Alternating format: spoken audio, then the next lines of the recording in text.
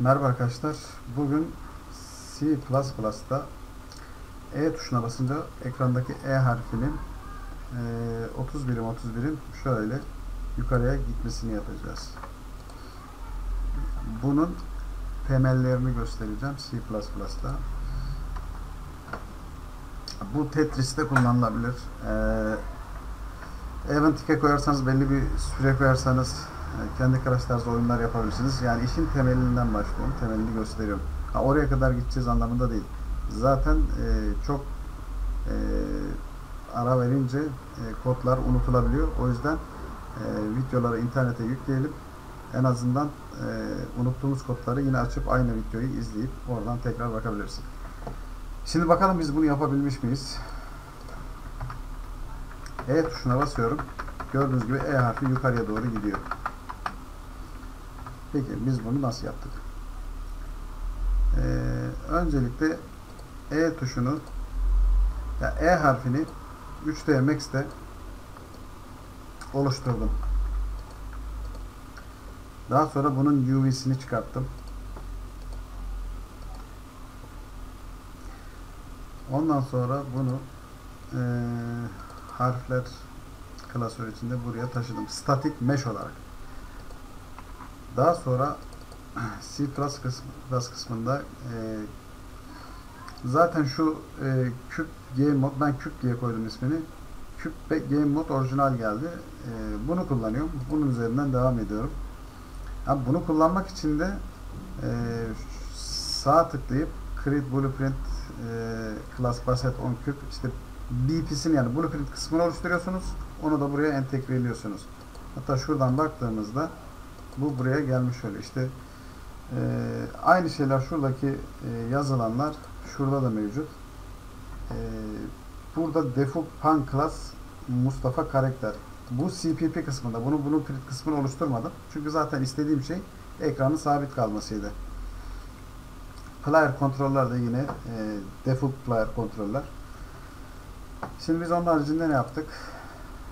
Game modumuzu oluşturduk.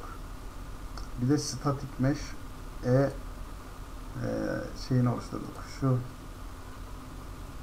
harfin C++ kısmını oluşturduk. C++ bu mantıkla çalışıyor. Önce burada nil diyorsunuz, aktör diyorsunuz. Biz E'yi bu şekilde oluşturduk.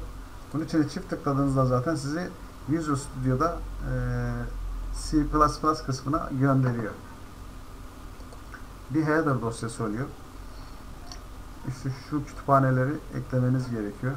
Bunlar otomatik ekleniyor. Şu Mustafa kısmında kısmet ve komponent e, komponent input komponent bu şey oluyor. Hani tuşa bastığınızda oluyor. Bu tuşa basma şeyleri tuşlarla giren input oradan anlayabilirsiniz.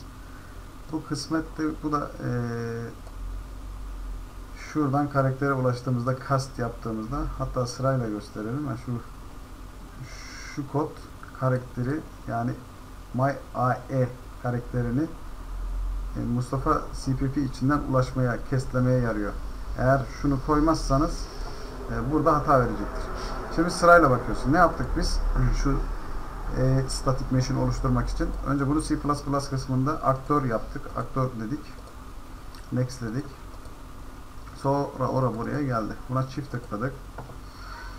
E, header kısmına geldik. Buraya bu property edit anywhere blueprint read write category E bu static mesh component E harfi dedik.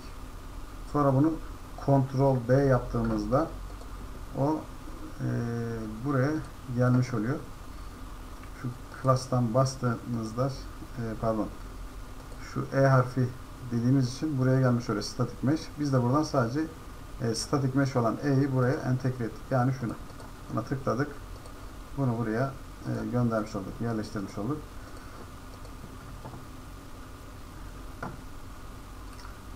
Sonra void down. Void down fonksiyonunu yazdık. Public kısmına. Private de olabilir. O fark etmiyor. E, down fonksiyonu çalıştığında işte forward vektör yani aktörün e, forward vektörüne new location yeni lokasyonu dedik. Eşittir get aktör lokasyonunu aldık. Ve onu artı dedik 30 birimi buraya yazdık. X şu 0 X şu da Y oluyor. Şu üçüncüsü ise Z oluyor. Ee, daha sonra set setliyoruz bunu bir de. Hemen akabinde setliyoruz. Aktörün yeni lokasyonunu setliyoruz. New lokasyon. New lokasyon da burası oluyor. Onu da buraya setliyoruz. Peki bunu nereden çağırıyoruz biz? Bunu Mustafa karakter CPP'nin içine geldik. Ee, dedik ki ha, şunu da göstereyim arkadaşlar. Şimdi burada e, e-clicked olduğunda yani e, tuşuna bastığımızda çalışmasını istiyoruz ya. Project Centrix'e geldik. Action Mapping'den şunu yazıyorsun. E-clicked yani E tuşu tuşlandığında buradan E'yi seçiyorsun. İstediğin başka bir harfi de seçebilirsin. Ondan sonracığıma player input işte bu player input o kütüphaneden çekiyor input komponentten. Player input da E tuşu basıldığında ki bu şeyde yani bu bu, bu klasın içinde bu sınıfın içinde Mustafa karakter e, sınıfın içinde E clicked bak kontrola basıyorum. Hani buna tıkladığım an sol klik yaptığımda şu fonksiyonu çalıştırıyor. Bu fonksiyon da şu iki parantez içindekini yapıyor. İşte ben bir buraya bir şey yaptım. Screen şeyi koydum. E'ye basıldı. Hani solda görülsün diye. E'ye basıldı mı? Bu kodda o E'ye basıldı yazısının yazılmasını gösteriyor. Sağlıyor ekranda. E A aktörünü bul. Yani şu A e, şeyden gelme. Normalde bizim karakterimiz sadece E ama başına Engine mühendisleri A'yı getiriyor. Yani A karakter, A aktör. Onu o otomatik yani. Hani bu C++'da çalışırken böyle. İşte AE eşittir my e. Bunu buraya referansını alıyor. Yani my AE kesitliyor. Yani artık şunu referans olduğu için bütün e, bir kere ulaş yazdıktan sonra hepsine bunun üzerinden ulaşabilirsiniz. Bu e, e harfine. İşte e, cast e, cast ulaşmak demek. E, çağırıyor. İşte oradan u game static get actor all actor class. Get actor of class. Yani aktörün e, sınıfını çağırıyor. Get word dünyada var mı? Hani şu an 3 boyutlu uzayda var. AE static class yani static sınıfında AE. Bize burada şey yapıyor, soruyor if IE yani var mı demek istiyor. O anlama geliyor buradaki kod. Bu şunu silelim. Ben oraya şey yaptım. O şey yorum yani. Buraya yorum da yazarsınız. Şey fark etmiyor. Ama başına şöyle koymak zorundasınız. Sonra biz ne yaptık? My AE ee, yani my AE şöyle arkadaşlar. Buraya git ve onun içinde down. Bakın burada down'a kontrol basılıyken down'a bastığımda hop beni buraya attı. Onun içinde de kendi kendini yukarıya 30 birim kaldır.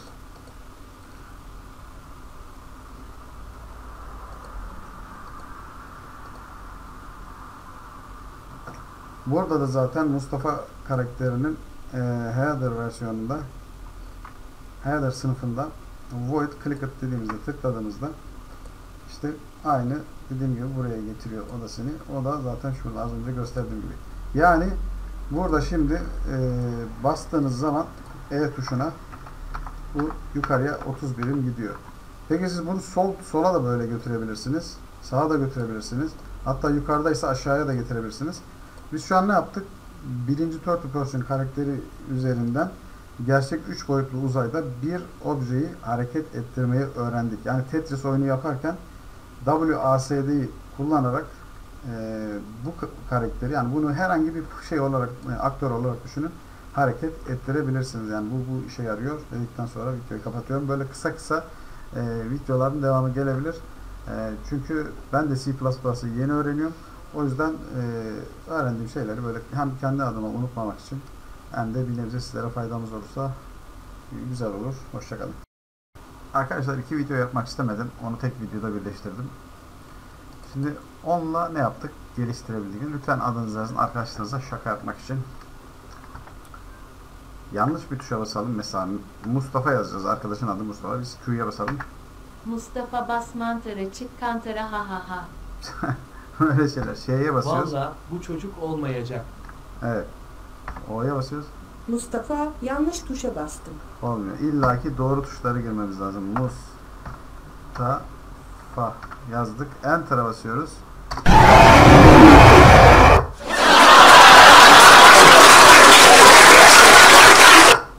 ESC'ye bak. Bastık. Çıktık. Peki ne yaptık? Evet, ben gösterelim. Her tuş için bir tane clicket yaptık. Ve eee, her tuş için Mustafa. En son A'dan burada önemli olan şey şuydu. Eee, Mustafa iki tane A olduğu için biz de A'ya eee, bastığımızda mesela F clicket alert A clicket A clicket'a bastığımızda e, A'ya bir daha bastığımızda aynı aktör bir daha aşağı inmeyeceği için ne yaptık? Dedik eğer bir boolean oluşturduk. Boolean varsa yani e, birinci indi yani birinci indi şu birinci oluyor. Bir de bu A2 yaptım. E, boolean'i oluşturdum bu Mustafa karakterin header dosyasında. Onu neredeydi? Şurada. False. Başlarken false. Sonra eee, sorgulama yapıyoruz. Bolan eee Turi'ye geçti mi? Hayır geçmedi. O zaman sen şunu yap kardeşim diyoruz. Yani eee my a'nın içinde birinci a'nın içindeki a fonksiyonunu çağıracaksın. Eğer eee false değil de true'ysa yani else değilse a a2'nin içinde yani ona ulaşıp a2'yi çağıracaksın diyoruz. Peki bu birinci e, A indi false ne zaman true oluyor? O da F tuşundan sonra F clicket F tuş, tuşlandıktan sonra basıldıktan sonra F'ye ulaşıyor. Yani en son F iniyor ya Mustafa F'den sonra bir de A var. Ondan sonra birinci A indi true oluyor. Sonra biz tekrar A'ya bastığımızda burada şunu atlıyor bu kez şunu yapıyor. Yani kodlamanın mantığı bu işte. Yani 1 değilse 2 yani. A değilse B. Ya 1 ya 0. Ee, sonra yanlış tuş e, yanlış tuşa bastırıldığında e, wrong ses yani şey çıkarsın. Hani işte oraya ne yazarsanız artık bir tane ses oluşturduk. Wrong ses diye. Bu da karakterin içinde.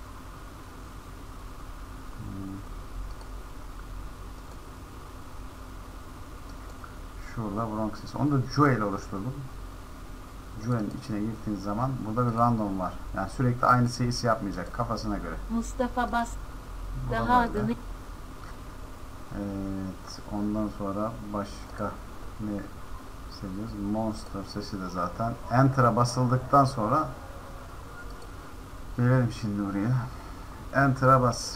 Enter'a bastıktan sonra burada zaten en son A harfi girildi mi true. Yani oradaki kodu burada da kullanıyoruz. Evet girildi.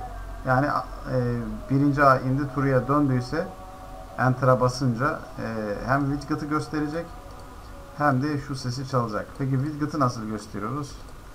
Bastığımızda widget e, show. Bunu blueprint implement event yaptık. Bu ne anlama geliyor? Bu e, blueprint'in şey e, C++'ın blueprint kısmında da çağrılacağı anlamına geliyor. Ne yapıyor o? Yani şuradaki şu tetiklendiği zaman şuna şöyle geçelim. Enter'a bastığımızda eğer şu doğruysa ses çalıyor. Sonra widget ekranda gösterecek. Onun için bu tetikleniyor. Bu tetiklenince bu C++ kısmında tetiklenmiyor. Bu blueprint kısmında çağrılıyor ve buradan da e, monster canavar resmini gösteriyoruz. En başta da zaten event begin play ile at yaz. Onu da gösterdik.